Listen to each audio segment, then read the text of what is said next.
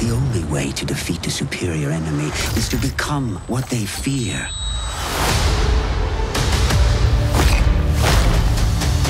Does this mean anything to you? Where did you get this?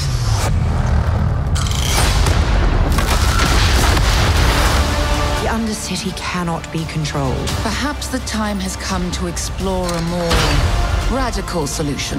There are people down there who seem hell bent on destroying us.